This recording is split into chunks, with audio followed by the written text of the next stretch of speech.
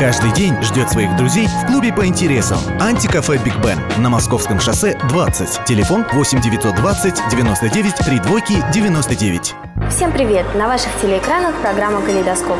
И мы предлагаем потратить немного вашего драгоценного времени на обзор тех событий, которые показались нам интересными.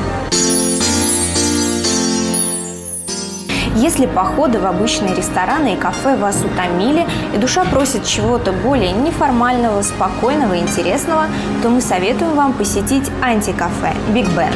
Тем более, что там часто проходят интересные мероприятия и акции, в том числе и благотворительные. Антикафе Биг Бен на Московском шоссе в бизнес-центре «Престиж» открывает перед своими посетителями массу возможностей.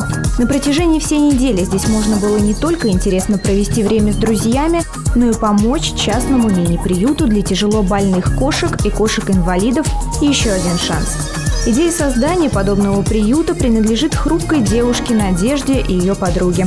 Они на сегодняшний день единственные в городе, кто помогает братьям нашим меньшим не просто найти приют, а выжить. Сбитые машины, там покалеченные людьми очень часто встречаются животные, которые никак не могут получить помощь, потому что люди не берут таких на передержку, очень большая ответственность, да, потому что животные пострадавшие требуется медицинский уход, соответственно, какие-то частые поездки в клинику, какие-то, возможно, медицинские манипуляции можно проводить, нужно, точнее, необходимо проводить дома. Вот, люди к этому не готовы, поэтому вот мы решили, что пока что нету официального приюта у нас в городе, как-то вот выходить из ситуации и попробовали, рискнули, скажем так, была такая некая авантюра, создать нечто свое. Ну, в какой-то степени у нас э, получилось это. Антикафе Биг Бен сегодня украшено фотографиями питомцев мини-приюта, которые ищут своих хозяев.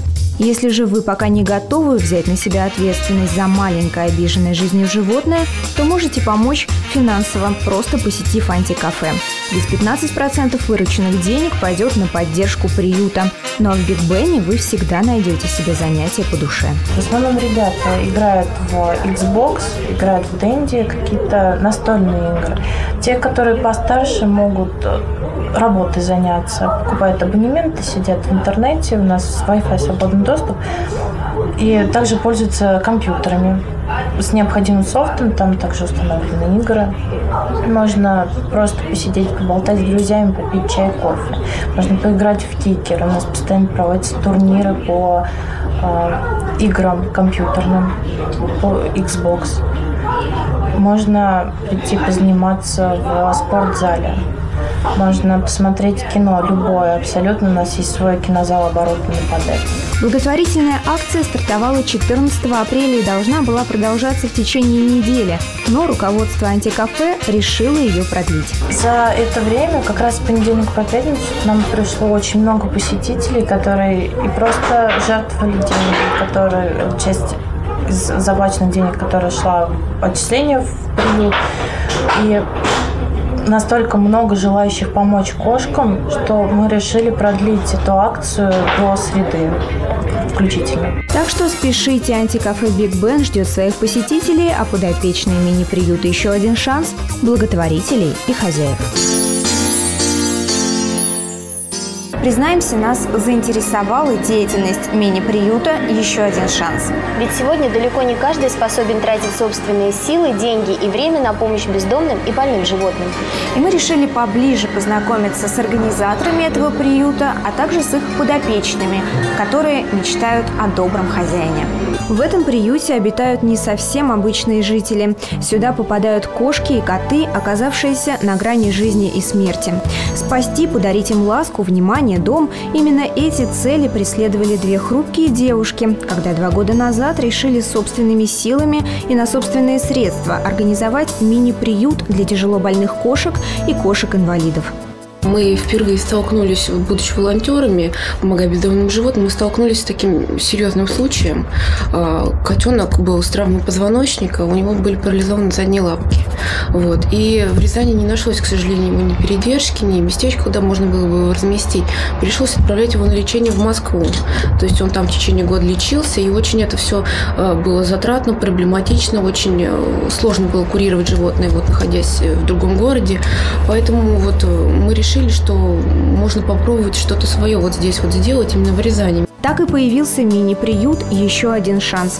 Девушек не испугали ни сложности, ни финансовые проблемы, которые возникали и возникают постоянно. Ведь содержание таких кошек на порядок дороже, чем здоровых животных. Затраты на лекарства, операции, корм и, конечно же, аренду помещений иногда выливаются в нешуточные долги. Помогают неравнодушные люди. И все же лучшей наградой для Надежды и ее подруги Светланы становится обретение их подопечными нового настоящего дома дома и добрых хозяев.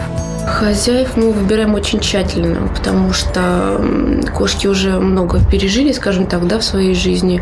Многие пережили смерть хозяина, да, улицу какие-то страшные вещи, там, да, болезни сильные. Вот, поэтому мы стараемся найти хозяина очень хорошего, чтобы как бы не было таких моментов, что вот взяли, вот поигрались, да, потом мы, мы решили, что нам не подходит, мы вам вернем назад. Конечно, забирают таких животных не часто, особенно в нашем городе. Мало кто захочет взять себе кота с ампутированной лапкой или слепую кошку. Хотя эти животные безумно ласковые, благодарны, их небольшие дефекты не доставят хозяевам больших проблем.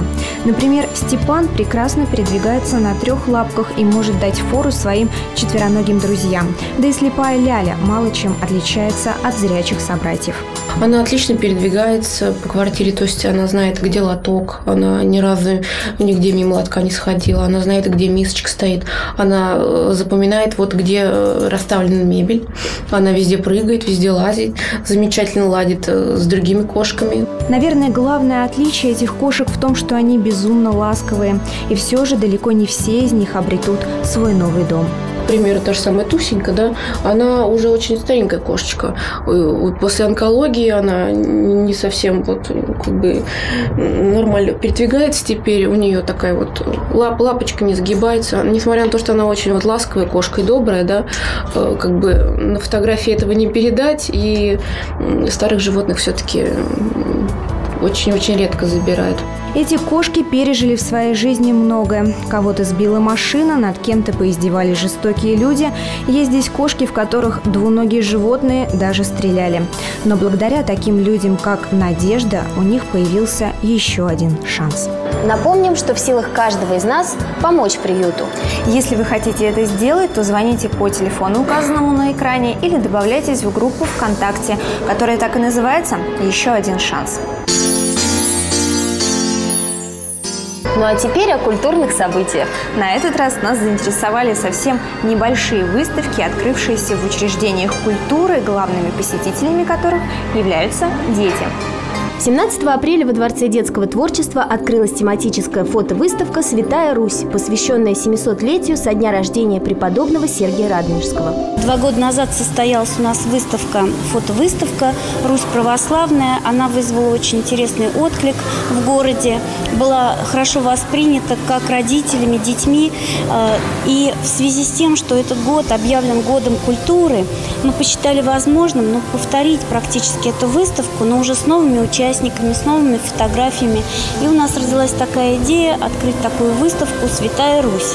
В холле дворца можно увидеть авторские фотографии, семейные и коллективные фотоальбомы, выполненные учениками рязанских школ, которые передают красоту и величие архитектурного наследия России, особенности православного быта и культуры, национальный колорит и традиции. Вот эта фотография э, получилась летом, э, когда мы пошли в Кремль там привезли, э, ну, в общем, большой деревянный ящик.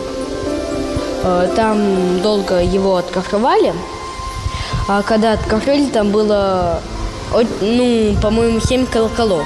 Работы будут оцениваться компетентным жюри по номинациям «Храмы и соборы», «Православная жизнь», «Церковь и общество» по святым местам. Экспозиция открыта для свободного посещения до 15 мая. Творчество Валентины Чавкина известно многим рязанцам. Его работу мы привыкли видеть в музеях, художественных галереях, но на сей раз несколько его картин расположились в детской библиотеке на улице Гоголя. Небольшой зал вместил невероятное для его размеров количество гостей. Приглашенные школьники играли на музыкальных инструментах, читали стихи, а вдохновляли их на это картины Валентина Дмитриевича. Художник признается, что его страсть – портреты, но на этой выставке он представил несколько своих пейзажей. Без пейзажа тоже никуда. Значит, он, э, э сказать, тоже это э, нам помогает жить, значит, это где-то, может быть, пейзаж помогает успокоить душу, да, вот. Но, а где-то он именно может взволновать э, там и э, нацелить э, тебя на какой-то следующий шаг, путь. Для Валентины Чавкина эта выставка – еще один способ знакомства зрителей с его работами. Ну а для библиотеки филиала номер один централизованной детской библиотечной системы подобное мероприятие – прекрасная возможность привлечь новых читателей и заинтересовать детей творчеством наших земляков. Не стоит забывать, что скоро наступит лето, и пришла пора задуматься, готово ли ваше тело к открытой одежде и пляжному сезону. Фитнес-центр Мидея совсем недавно открылся в нашем городе. И главным его отличием является то, что посещать его может только прекрасная половина человечества. Обо всех особенностях работы клуба расскажет Евгений Карпушкин.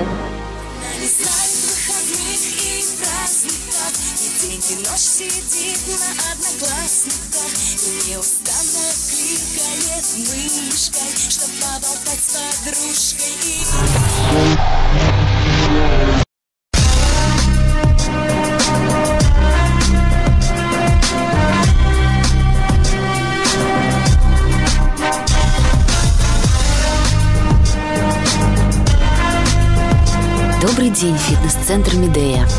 Девушка, здравствуйте. Мне нужно срочно заняться фитнесом.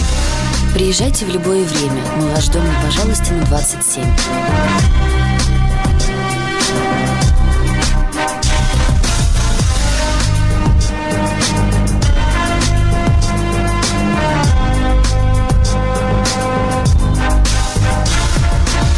Фитнес-клуб Медея – это женская территория. Как вы понимаете, основное отличие фитнес-клуба для женщин от обычного – это отсутствие мужчин. Может быть, для многих дам отсутствие противоположного пола покажется безрадостной перспективой, но исследования ученых доказали, что эффективность тренировки женщины в присутствии сильного пола снижается вдвое. Наш фитнес-клуб – единственный клуб в Рязани, который работает только с женщинами. Отсутствие мужчин в нашем спортзале позволяет женщинам расслабиться и э, сосредоточиться только на работе с телом. Powerful, hey. rolling with the rocks on the block, controlling my position at the top of every chart. And I will not stop.